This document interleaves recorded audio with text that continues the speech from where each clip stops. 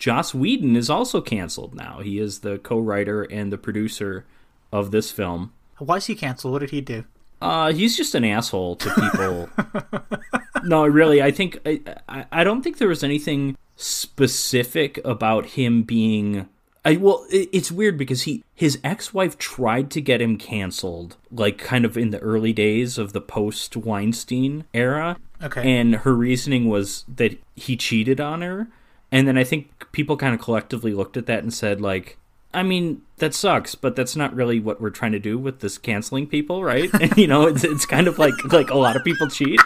But then a few but then a few years later, more information came out that like on the set of Buffy, he apparently in his writers' rooms was just awful to women and he liked making them cry at their writers meetings and stuff like this and then also there was like some weird stuff about some of the actresses that worked on his shows were which they, they were like told told like stay away from him he's a creep like there was Oh, a no. an actress that was like a 16 year old girl um, when when they started shooting Buffy, and she had like something in her contract to like never be in the room with him alone or something. So it's like yeah, Oh just weird God. stuff. Joss Whedon is a terrible person, but I wanted to bring up, and this is it's a long time coming for us to actually get to the Cabin in the Woods. But my favorite Joss Whedon trivia or whatever of is he he had a big magazine feature after he was canceled. This was supposed to be like his kind of comeback, his defense, if you will. Mm-hmm. And a lot of it was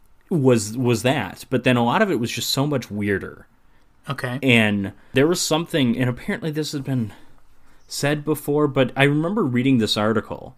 This is his defense, and it seemed to almost imply that when he was a five year old kid, he like murdered a neighbor or something. It was very strange. What? There's, when when he was a kid, there was there was a there was an when he was a kid, there was a neighbor kid that used to come over to their house, and then one day he was found drowned in like Joss Whedon's family pond or something.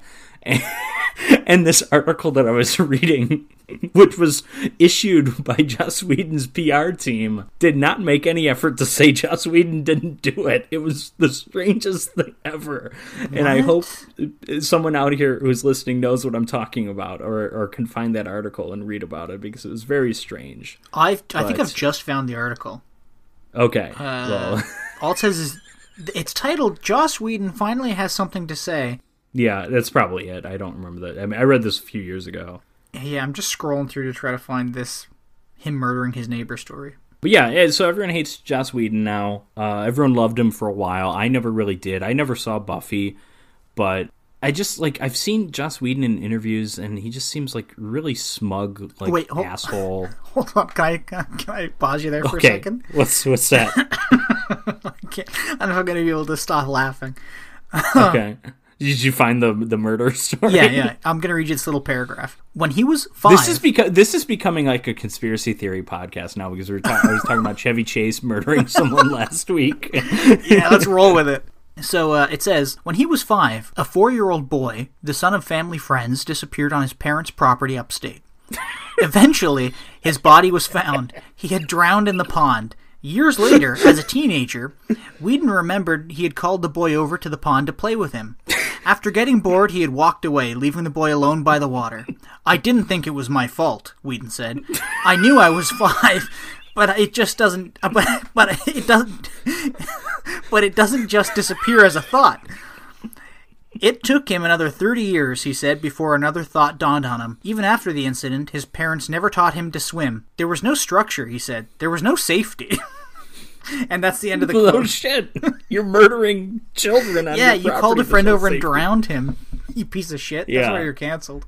Yeah, Allegedly. well, it, the weird part is that's not why he was canceled.